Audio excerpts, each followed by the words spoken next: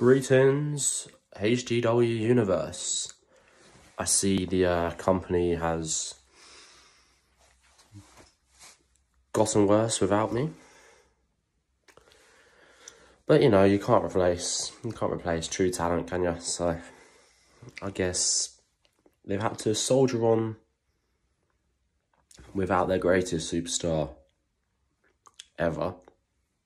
However, I did leave a part of me in the roster. Yes, as soon as I left, they thought, there's no shockwaves. What are we going to do? And that's where Joe steps in. Joe, from one brother to another, well done.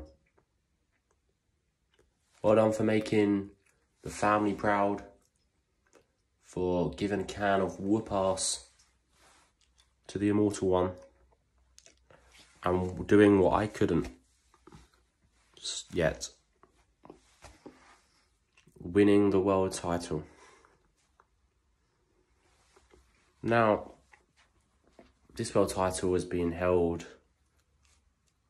by superstars that weren't worthy.